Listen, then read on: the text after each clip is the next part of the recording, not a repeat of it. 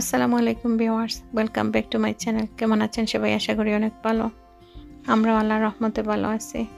আজ আমি আপনাদের সাথে শেয়ার করব chilli cheese paratha.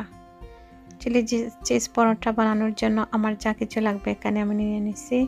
পেপার, ধনিয়া পাতা চিজ কাঁচামরিচ, রসুন।